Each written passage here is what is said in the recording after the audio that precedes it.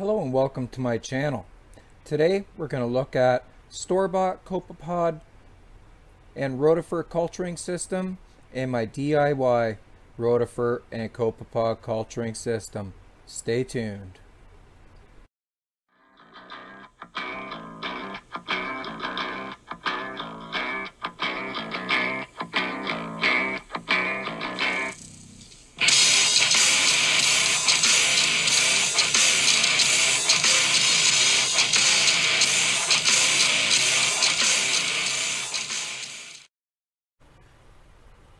Many marine fish require rotifers or copepods as a food source.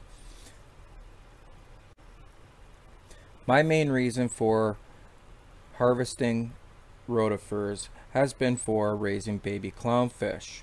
But in the process I have acquired some mixed copepods and I have enjoyed feeding them to my older clownfish and my marine tank.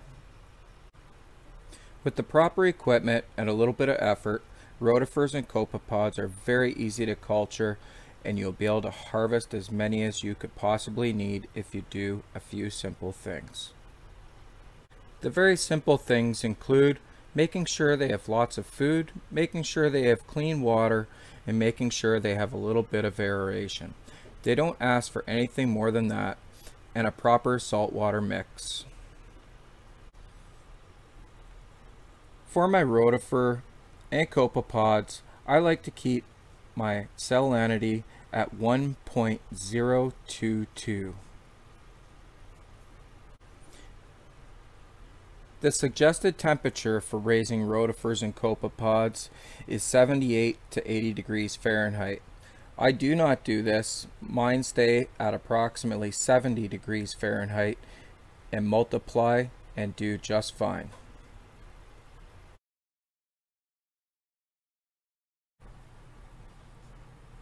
This is the culture starter kit that I purchased from Reed Mariculture. It is working very very well but I will say it was quite expensive. The only thing that I received other than this bucket with the internal parts is an air pump and a rotifer sieve. My bucket is very dirty right now, but it is still working very well. Very simply, your airline attaches on here, blows down. There is an air stone at the very bottom of this tube. This tube has filter floss wrapped around it with plastic to hold it in place. And it seems to do an excellent job at holding beneficial bacteria in and making great aeration within the bucket. It does trap a lot of uneaten food and waste and does need to be cleaned out every couple of days if you're feeding heavily.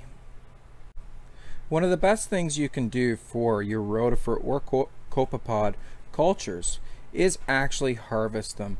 They should be harvested 30 to 40% of their volume daily.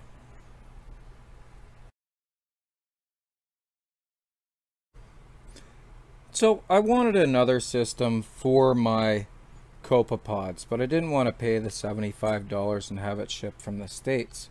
So I decided I'll just make my own. So far it looks great. I haven't actually filled it with water yet, but it looks like it's going to work. The T is just held in with some 3 quarter inch ABS caps that are contact cemented into the sides of the bucket. That is just straight through. Airline goes through down to the bottom where there is an air stone.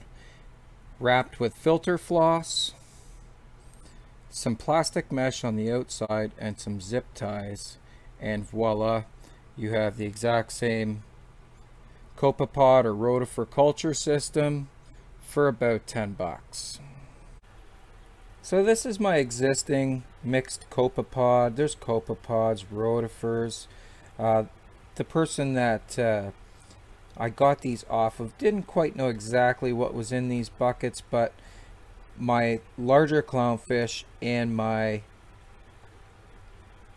main tank upstairs with the clownfish parents really enjoy eating the copepods that are in this bucket.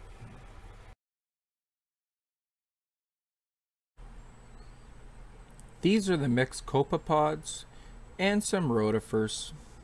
These are great, great foods for many, many of your marine fish.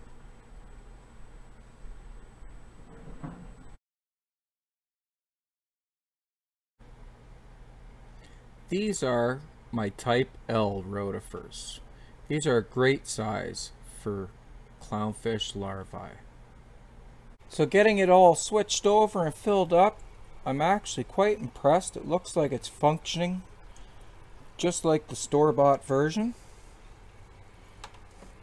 I did thin them out quite a bit and fed them so there will be lots of new ones popping up here shortly and I can't wait to see how well the homemade rig works here but so far it looks like it's working good. The Reed Mariculture system comes with a little plastic lid as well. It can be a little bit difficult to deal with, but it works well. So I made my own version of that as well. Maybe a little bit easier to deal with. Um, seems to be working well. I used simply some Super 6 plastic and contact cemented it to the existing bucket lid and obviously cut the center of the bucket out. So overall, I'm pretty impressed with how easy it was to make my own culture system.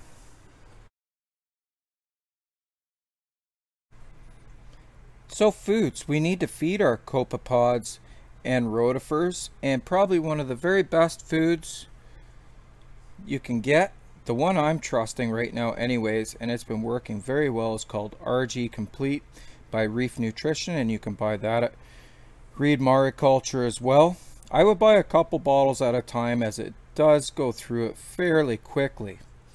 Now if you're needing to enrich your food further for whatever you're feeding your rotifers to, I use RotiGrow Plus.